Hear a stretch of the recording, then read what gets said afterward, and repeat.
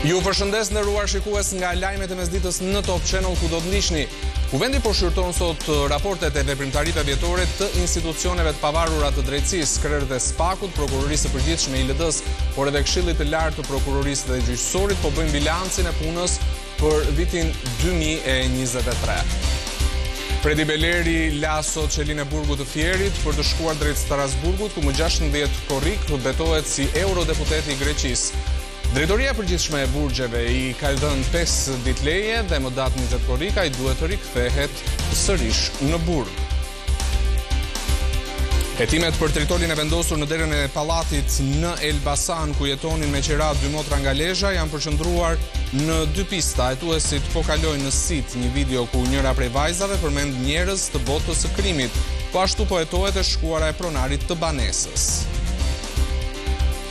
Në intervistën e parë pas atentatit të 13 korrikut në mitingun e Pensilvanisë, Trump tha se e shpëtoi fati. dhe se tani do të vazhdonte betejën e tij për të bashkuar vendin. Ai po vijon fushatën, në pritje të nominimit zyrtar si kandidati presidencial i republikanëve. Biden sakaq i bëri thirrje popullit për unitet.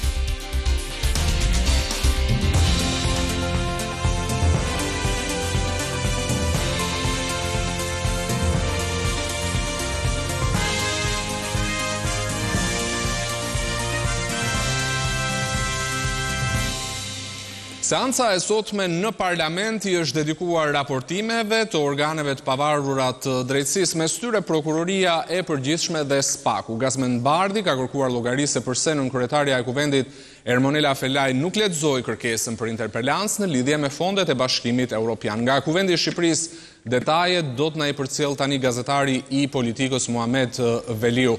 Muhamet, të përshëndes, pse u shkaktuan debatet sot në sallën e Kuvendit?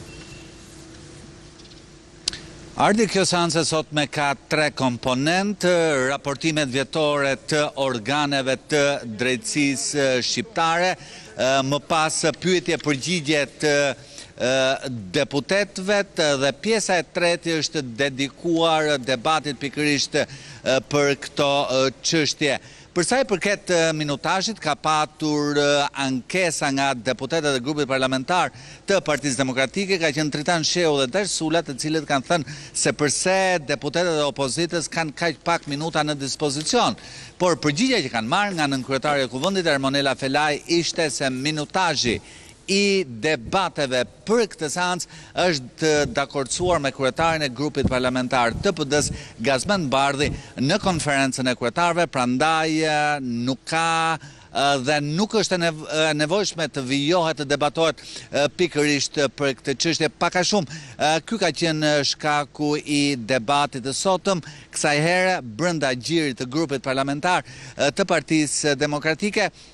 ku deri diku deputetët që ngritën shqetësimin janë shprehur të pakënaqur me Gazmend Bardhin. Mirë Muhamet, kush prej drejtuesve të organeve drejtësisë ka raportuar deri në këto momente që ne flasim? Deri këto momente ka qenë kryeprokurori i vendit Olsian Çela, i cili ka lexuar raportin vjetor, për vitin dy mijë e njëzet e tre të Prokurorisë së Përgjithshme, që në fillim zoti Çela ka theksuar mungesat e shkaktuara nga Vettingu, ai tha se ka deri tani në të gjitha prokuroritë e rretheve tridhjetë e tetë për qind vakanca, megjithatë ai u shpreh se prokurorët edhe në këto kushte janë duke vijuar punën, si shembull ai mori ekzekutimin në kohë të një mori me letërporosi të cilat vijnë nga jashtë me persona të kërkuar nga drejtësitë e vendeve të ndryshme të botës. Përsa i përket kriminalitetit, kryeprokurori i vendit theksoi se qyteti me numrin më të ulët të krimeve në vend është Dibra dhe më problematiku qyteti bregdetar i Vlorës, Ndjekim një pjesë nga ajo se çfarë tha Olsian Çela në Parlamentin e Shqipërisë e më pas edhe këto momente ai është duke vijuar t'i japë përgjigje pyetjeve të deputetëve në Parlamentin e Shqipërisë. Prokuroritë e juridiksionit të përgjithshëm edhe gjatë vitit dy mijë e njëzet e tre kanë vijuar të ushtrojnë me përgjegjësi kompetencat bazuar në kuadrin ligjor në fuqi, rekomandimet e institucioneve kushtetuese dhe ndërkombëtare, si dhe në prioritetet e shtetit shqiptar që rrjedhin nga procesi i integrimit me Bashkimin Europian. Me gjithë problemet e shumta të shkaktuara, siç jeni dhe ju në dijeni, nga vakanca, për shkak të procesit të rivlerësimit kalimtar, edhe përgjatë vitit dy mijë e njëzet e tre këto vakanca vazhduan, përbëjnë gati tridhjetë e tetë për qind të organikës së prokurorëve, njëkohësisht shoqëruar edhe me ngarkesën e shtuar nga dosjet e mbartura në vitet paraardhëse, siç jeni në dijeni.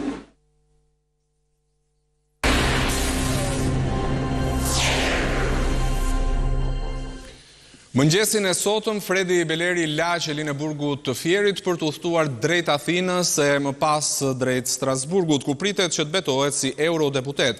Drejtoria e përgjithshme e burgjeve i ka dhënë 5 ditë leje që nis sot dhe do të zgjasë deri më 20 korrik, Me qëllim që ai të përmbushë detyrimet që i ngarkon detyra si eurodeputet i Greqisë në Parlamentin Europian. Ceremonia e betimit në Strasburg do të jetë më gjashtëmbëdhjetë korrik dhe më pas Beleri duhet të rikthehet në burg për të shlyer dënimin e mbetur për korrupsion zgjedhor. Jashtë ambienteve të burgut të Fierit e kanë pritur familjarë dhe një makinë e ambasadës greke. Në një prononcim të shkurtër për një media greke, Beleri tha se ishte i lumtur dhe se do të apelonte vendimin e Apelit të Posaçëm që e dënoi me dy vite burg në Gjykatën e Strasburgut. Hetimet për tritolin e vendosur në derën e pallatit në Elbasan ku jetonin me qira dy motra nga Lezha janë përqendruar në dy pista. Për detajet më të fundit ne do të shkojmë tani direkt me gazetaren Dorjana Bezat. Dorjana të përshëndes, nga kjo ngjarje e rëndë u plagos fqinji, njëzet e nëntë vjeçari, i dy vajzave por çfarë po heton policia e Elbasanit në lidhje me to? Përshëndetje Ardi, shpërthimi i eksplozivit në një pallat në katin e katërt në Elbasan solli shumë dëme materiale, por Policia e Elbasanit po heton në lidhje me shkaqe që mund të kenë sjellë për këtë ngjarje duke çuar në një filtër jo vetëm jetën e dy vajzave të cilat jetonin me qera në këtë apartament, por edhe të personit që e kishte në përdorim pasi në të dyja rastet duket se personazhet kanë probleme me ligjin apo kanë lidhje të tërthorta me personazhe të botës së krimit dhe konkretisht Ky apartament është marrë me qira para dy vitesh nga Alda Nikolli dhe prej më shumë se dy javësh në këtë apartament jetonte dhe motra e saj Xhovana Nikolli, e cila një ditë përpara ngjarjes së rëndë kishte postuar në rrjetet e saj sociale një video ku përmendej Nuredin Dumani. Rezulton se pas shpërthimit të eksplozivit kjo video Është fshirë, megjithatë, kur vajzat janë pyetur nga grupi hetimor i ngritur nga Policia e Elbasanit, kanë përjashtuar këtë si mundësi të një konflikti që mund të kenë me këtë personazh të botës së krimit, duke thënë se nuk kishin dyshime se nga u kishte ardhur ky sulm i beftë në apartamentin e tyre të marrë me qera. Nga ana tjetër, po hetohet edhe personi i cili ka në pronësi këtë apartament, i cili është Besnik Braka, një personazh me me precedent penal në trafikun e armëve, po ashtu dhe trafikun e lëndëve narkotike, ai njihet edhe me emrin Nik Vojacek dhe rezulton se në vitin 2017 në një lokal po në pronësi të tij është vendosur një lëndë eksplozive, duke qenë se ai ka një të shkuar kriminale, policia po heton nëse sulmi ka lidhje me pronarin e banesës. Megjithatë, nuk kemi ende një një pistë konkrete apo një një identikit të autorëve, megjithëse policia ka mbledhur provat në vendin e ngjarjes, po ashtu po punon edhe me pamjet e kamerave të sigurisë në zonë, me qëllim zbardhjen e kësaj ngjarje të rëndë. Mirë ishim me Dorjana Bezat me të rejat më të fundit nga hetimi për Tritolin në Elbasan. Shkon në gjashtëmbëdhjetë numri i të arrestuarve në operacionin e koduar Summer, në të cilin më herët policia e Durrësit arrestoi pesëmbëdhjetë persona, sekuestroi armë, municione, por edhe Qindra doza me drogë. Vali Qyrfyçi është direkt tani me detajet më të reja. Vali, të përshëndes, kush u arrestua sot, për çfarë akuzohet dhe cilët anëtarë të këtij grupi janë ende në arrati? Mirëdita Ardi, ashtu siç e thatë edhe ju, ka shkuar në gjashtëmbëdhjetë numri i të ndaluarve në kuadër të operacionit Summer apo Shqip Vera. Në kuadër të këtij operacioni, i cili ka nisur një javë më parë, policia arrestoi ditën e sotme edhe njëzet vjeçarin Orgito Mema, i cili ishte një nga tre të shpallurit në kërkim pas këtij operacioni, pasi nuk u gjet në banesën e tij gjatë kohës kur policia ndërmori operacionin me titullin Summer për të ndaluar Persona të cilët akuzohen për shpërndarje narkotikësh dhe armëmbajtje pa leje. Edhe Orgito Mema, i cili u arrestua nga policia sot në Durrës, është një nga të kërkuarit për prodhim dhe shitje të narkotikëve, madje edhe duke qenë në kërkim, ai e ka ushtruar këtë aktivitet siç bëjnë të ditur burime nga policia, ai është konstatuar duke shitur një sasi lënde narkotike kanabis në zonën e plazhit dhe menjëherë kanë ndërhyrë punonjësit e policisë të cilët e kanë vënë në pranga duke e çuar në dy numrin e personave në kërkim. Kujtojmë se në kërkim janë edhe dy persona të tjerë mes të cilëve edhe drejtori i shkollës së mesme artistike të Durrësit i cili mësojmë nga drejtoria rajonale e arsimit parauniversitar në Durrës se është pezulluar nga detyra, ndërkohë që vazhdon të jetë në kërkim. Kujtojmë gjithashtu se Gjykata e Durrësit nga pesëmbëdhjetë të arrestuarit e mëparshëm ka lënë arrest në burg vetëm katër prej tyre, ndërsa të tjerët janë në hetim në gjendje të lirë. Po Ardi. Ishim direkt me Vali Qyrfyçin nga Durrësi. Një ngjarje tragjike raportohet të ketë ndodhur në Greqi, një çift shqiptarësh u arrestua nga policia pasi akuzohet se i ka shkaktuar vdekjen djalit me probleme të spektrit autik, duke e lënë brenda në automjet. Një njëzet e tre vjeçar shqiptar i diagnostikuar me autizëm ka ndërruar jetë, pasi është gjetur pa ndjenja brenda një makine, ku kishte qëndruar për orë të tëra nën temperatura të larta. Ngjarja ka ndodhur ditën e djeshme në Amarinthos të Evias në Greqi. Petrit dhe Vezire Elezi, pesëdhjetë e gjashtë dhe dyzet e tetë vjeç nga Durrësi, kanë gjetur brenda automjetit të tyre, të lënë të parkuar dhe të pasiguruar jashtë banesës djalin Skerdi Elezi, i cili ishte njëzet e tre vjeç dhe ishte pa ndjenja. Ai është transportuar në spital rreth orës dymbëdhjetë dhe në orën njëzet e tre e tridhjetë e shtatë minuta ka ndërruar jetë. Dy prindërve iu vunë prangat në orët e para të mëngjesit të sotëm me akuzën se kanë lënë të pafuqishëm dhe me pasojë vdekjen e djalit të tyre, i cili vuante nga një çrregullim neuropsikologjik. Gjithashtu është urdhëruar kryerja e autopsisë së viktimës. Ky është Top Channel. Në intervistën e parë pas atentatit të trembëdhjetë korrikut në mitingun e Pensilvanisë, Trump tha se e shpëtoi fati dhe se tani do të vazhdonte betejën e tij për të bashkuar vendin. Ai po vijon fushatën në pritje të nominimit zyrtar si kandidati presidencial i republikanëve. Donald Trump ka dhënë intervistën e tij të parë pasi i mbijetoi atentatit në tubimin elektoral në Pensilvani, duke këmbëngulur se tanimë supozohej të ishte i vdekur. Ish-presidenti u shpreh se kthimi i kokës nga turma drejt një ekrani në krahun e djathtë mund t'i ketë shpëtuar jetën. Ai shtoi se kishte dashur të vazhdonte të fliste edhe pasi atentatori, Thomas Matthew Crooks, e goditi në veshin e djathtë. Unë rrallëherë largoj vështrimin nga turma, Por po të mos e kisha bërë në atë moment, tani nuk do të ishim këtu duke folur bashkë sot, apo jo? Arsyeja e kthimit tim paksa në të djathtë ishte që mund të lexoja një paragraf për emigrantët e paligjshëm. Mbijetova thjesht për fat ose zotit, nuk e di. Trump theksoi më tej se do të bashkojë vendin në konventën republikane që mbahet këtë javë. Ai u shpreh se të enjten do të zhvillojë një fjalim krejtësisht të ndryshëm, nga çfarë kishte planifikuar. Kjo është mundësia për ta bërë të gjithë vendin e madje të gjithë botën bashkë, u shpreh Trump. Atentatori i tij njëzet vjeçar u qëllua dhe u vra në vend nga shërbimi sekret, por arsyeja e gjestit të tij mbetet e panjohur. Shokët e klasës e kujtojnë si një djalë normal i cili ishte refuzuar nga ekipi i armëve në shkollë. Ai ishte një djalë i mirë që kurrë nuk fliste keq për askënd dhe asnjëherë nuk kam menduar se mund të ishte i aftë për gjëra si këto që kam parë ditët e fundit, u shpreh Jameson Myers, i cili u diplomua së bashku me Crooks në dy mijë e njëzet e dyshin. Një tjetër i ri që ka qenë në shkollë me autorin e ngjarjes së rëndë, e përshkruan atë si një tip vetmitar dhe të bullizuar. Kur pashë fotot e tij në internet, mendova, wow, kjo është çmenduri. Nuk e njihja dhe aq mirë të them të drejtën, por e di që ishte i bullizuar dhe rrinte më shumë vetëm. E dini si janë fëmijët në ditët e sotme. Ai edhe vishej ndryshe nga të tjerët. Gjatë konventës kombëtare republikane që mbahet nga data pesëmbëdhjetë deri në tetëmbëdhjetë korrik, Trumpit pritet t'i konfirmohet nominimi i partisë si kandidat presidencial në zgjedhjet e pesë nëntorit, ku normalisht duhet të garojë përballë presidentit aktual Joe Biden.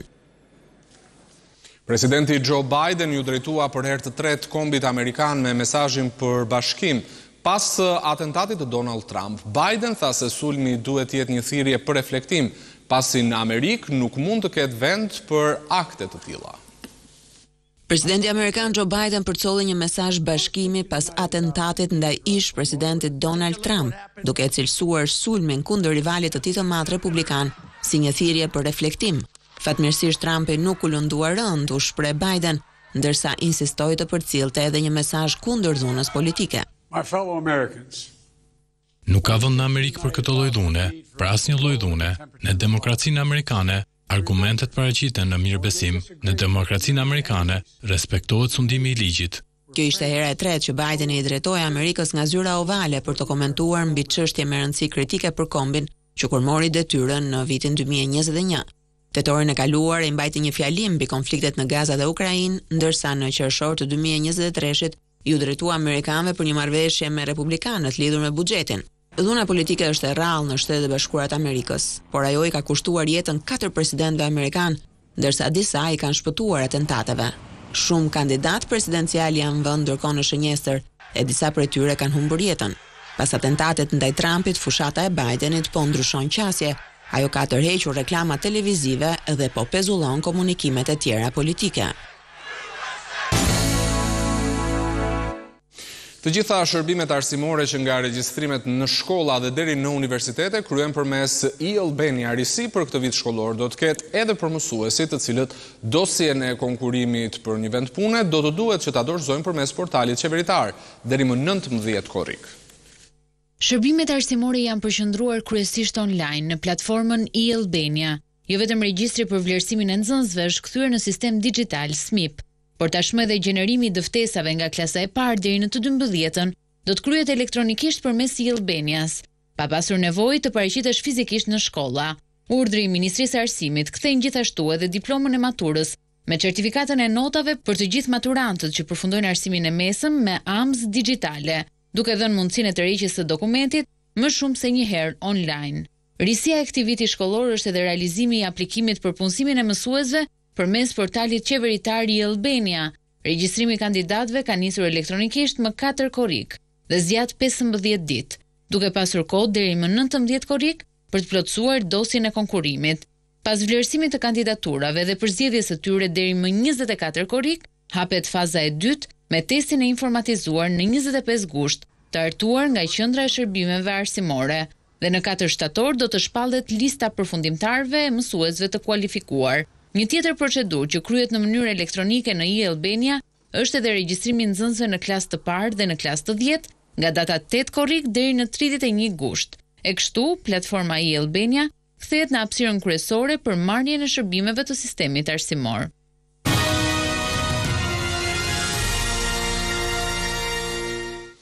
Torovica dhe Zadrima janë zonat e Lezhës të njohura për prodhimin e bostanit pa pesticide, por fermerët ankohen se nuk kanë një pikë grumbullimi si dhe iu mungon tregu, ku mund të shesin prodhimet e tyre. Fushat e Lezhës, kryesisht Torovica apo Zadrima njihen për prodhimin e bostanit. Mbi treqind e pesëdhjetë hektarë rezultojnë të mbjella në këtë kulturë bujqësore në këto fusha, ndërsa prodhimi nuk përmban pesticide që rrit garancinë për konsumatorin. Marian Lecaj këtë vit ka mbjellë rreth dy hektarë bostan, por problem Mbetet mungesa e një tregu në Lezhë. Do dalim në treg vet do pa transport e gjana rruge koha asht gjithçka asht konsum e shpenzim edhe kur vjen puna me dorëzu thotë dyqind lek thotë në gjithë tregun asht katërqind e pesëdhjetë deri në pesëqind ne me dyqind edhe duhet me qitë vetë me transportu deri në Shkodër. Eksperti i bujqësisë Preng Marku tregon se fushat e Lezhës janë të njohura për këtë kulturë bujqësore dhe përbërja e tyre e bën të panevojshëm përdorimin e pesticideve apo stimulantëve. Po ashtu, ai shton se duhet gjetur një zgjidhje për të ngritur pika grumbullimi, Është e domosdoshme që të ketë pika grumbullimi, por pika grumbullimi jo jo si funksionojnë në zonën e Myzeqesë aktualisht. Pika grumbullimi që realisht nga prodhuesi tek përdoruesi, konsumatori, duhet të marrin atë që i takon, po jo të merret çmimi i bostanit fjala vjen me njëqind lekë ai ta shesin me katërqind ose me treqind. Pra më shumë të fitojnë grumulluesi sesa prodhuesi. Këtë verë çmimi i bostanit ka zbritur në njëzet lekë tek fermerët, por këta të fundit duhet të gjejnë vetë tregun për të siguruar shitjet. I nxehti afrikan do të ketë kulmin e tij këtë javë. Lidhemi me gazetaren Juli Ristani që ndodhet pranë shërbimit ushtarak meteorologjik për detaje të mëtejshme. Juli, nga ajo që kemi parë, e mërkura pritet të jetë piku i vapës, por çfarë thonë ekspertët atje? Ju përshëndesim Ardi, prej më shumë se tetë ditësh vendi ynë ka përjetuar temperatura të larta për shkak të valës përvëluese me origjinë nga Afrika e Jugut. Ardi ne sapo e mbyllëm një javë ferri, por nuk e dimë se si do të jetë java që sapo ka nisur e për të na dhënë të dhëna më të sakta ne kemi ardhur pranë shërbimit meteorologjik ushtarak ku në krah unë kam sinoptikanen Besa Sherollari. Kur tërhiqet kjo valë ferri dhe si do të jetë kjo javë Besa? E me sa duket, kjo javë ferri do të vazhdojë të jetë prezente mbi vendin tonë, pra e gjithë java pritet që të jetë në ndikim të këtyre masave ajrore të qëndrueshme dhe të nxehta me origjinë nga Afrika e Veriut, të cilat do të na sjellin mot kryesisht të kthjellët përgjatë vijës bregdetare, ndërsa përgjatë ultësirës perëndimore dhe zonave malore në orët e mesditës dhe pasdites nuk përjashtohet mundësia e zhvillimit të vranësirave të cilat pritet Të shoqërohen me reshje lokale shiu por vetëm përgjatë majave të maleve pra nuk preket pjesa tjetër e territorit. Për sa i përket fushës termike, ajo që është dhe na intereson më shumë këto ditë, pritet të mbetemi pothuajse në të njëjtat vlera, termometri në orët e natës nuk pritet të zbresi poshtë njëzet e gjashtë njëzet e shtatë gradë celsius, kryesisht në zonat e ulëta dhe në bregdet çka ne do të vazhdojmë të përjetojmë netët tropikale edhe gjatë gjithë kësaj jave. Por edhe në mesditë, termometri pritet që të shkojë dyzet e dy e lokalisht deri në dyzet e tre pothuajse gjatë gjithë këtyre ditëve deri ditën e shtunë, ne pritet të mbetemi në ndikim të këtyre masave ajrore të qëndrueshme dhe të nxehta. Por ajo që ne na ka habitur këto kohë është ditën e djeshme, qyteti i Peshkopisë ka regjistruar vlerën e dyzet pikë dy gradë Celsius, është një temperaturë relativisht e lartë. krahasuar me mesataren mujore për zonat malore, pra dyzet pikë dy, është një vlerë vërtet e lartë. Pra për të gjithë ata që mendojnë t'ia mbathin nga vera nëpër plazhe dhe të shkojnë në zona malore, keq e paskemi dhe andej domethënë. Me sa duket nuk paskemi shpëtim as në zonat malore gjatë gjithë këtyre ditëve. Kur pritet të tërhiqet kjo valë, Besa? Parashikohet që kjo valë e të nxehtit të fillojë tërheqjen e vet kryesisht ditën e diel, por megjithatë për të dhënë një informacion sa më të saktë, ne do të lidhemi përsëri për të parë a do vijë vërtet kjo tërheqje e këtyre masave ajrore të nxehta. Patjetër Besa, ne ju falënderojmë për të gjithë informacionet që na jepni që shërbejnë njëkohësisht edhe për thirrje dhe për popullatën Ardi që të bëjnë kujdes me këto Temperatura që vetëm probleme shënojnë për shëndetin, Ardi. Duhet të përgatitemi për pikun e vapës dhe të nxehtit afrikan. Ishim me Juli Ristanin direkt.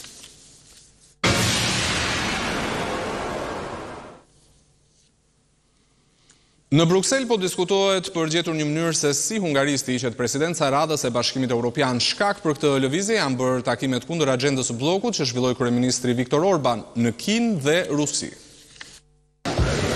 Me lëvizjet e tij polemizuese për bllokun, shumë shpejt pas marrjes së presidencës së radhës së Bashkimit Europian, kryeministri i Hungarisë Viktor Orban e acaroi Brukselin deri në pikën që të diskutohet mundësia që vendit të tij t'i hiqet drejtimi i Këshillit të Bashkimit Europian. Por a mund të ndodhë kjo vërtet? Orbani vizitoi presidentin rus Vladimir Putin, më pas udhëtoi drejt Pekinit për t'u takuar me Xi Jinping dhe së fundi u largua më herët nga samiti i NATO-s në Uashington për t'u takuar me ish-presidentin amerikan Donald Trump. BE-ja insiston se ai nuk flet në emër të saj. Dhe kjo u theksua me forcë edhe nga kancelari gjerman Olaf Scholz. Parlamenti Europian e kishte paralajmëruar përmes një rezolute që një vit më parë se Hungaria nuk është në gjendje ta përmbushë këtë detyrë dhe tanimë europarlamentarët ndihen të konfirmuar në pikëpamjen e tyre. Dy konsiderohen mënyrat se si mund të korrigjohet ai që po shihet si një gabim. BE-ja mund të paraqesë kritere që një vend duhet të përmbushë për të marrë presidencën e Këshillit.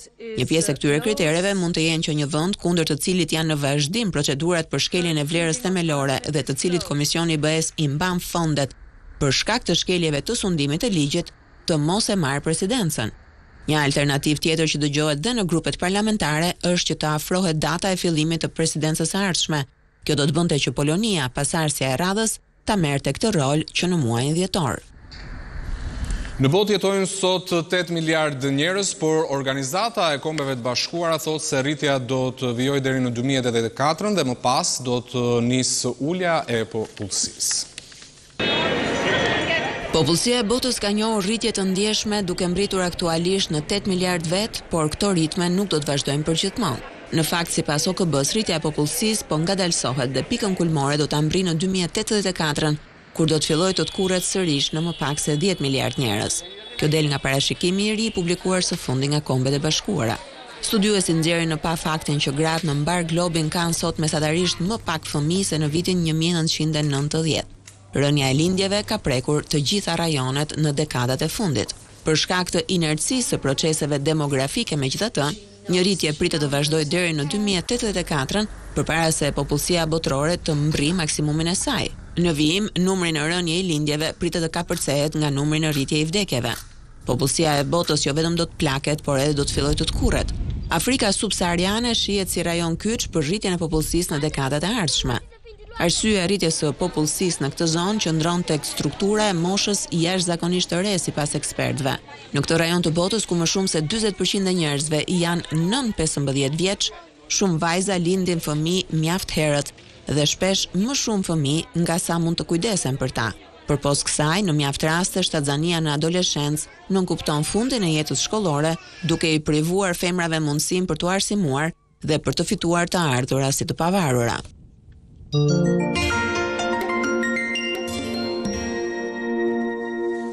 Pas zbulimit të një tjetër varri monumental, një dëshmi më shumë për ekzistencën e qytetit ilir të Amantias, specialistët e arkeologjisë në Vlorë konfirmojnë se kanë gati një projekt për restaurimin e tij. Një ekip arkeologësh dhe restauratorësh të Drejtorisë Rajonale të Trashëgimisë Kulturore në Vlorë zbuluan një tjetër varr monumental në hyrje të territorit të Parkut Arkeologjik të Amantias, buzë rrugës që lidh fshatrat Ploç dhe Amonicë të bashkisë së Selenicës.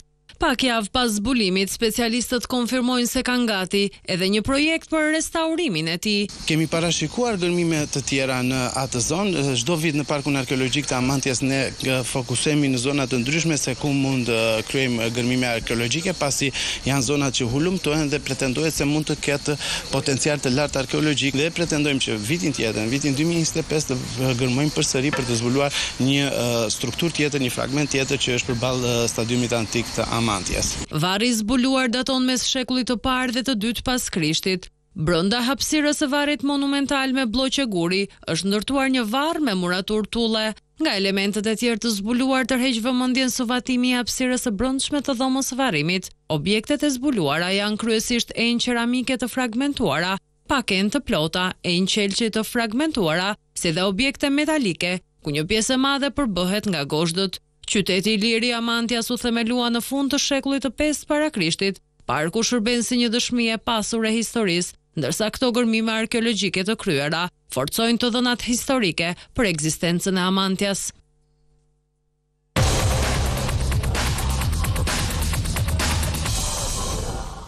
Trofeu i kampionatit europian të futbollit shkon sërish në Spanjë. Iberikët mundën në finalen e madhe skuadrën angleze me rezultatin 2 me 1. Kjo është kupa e katërt e europianit që fiton Spanja në historinë e saj të futbollit.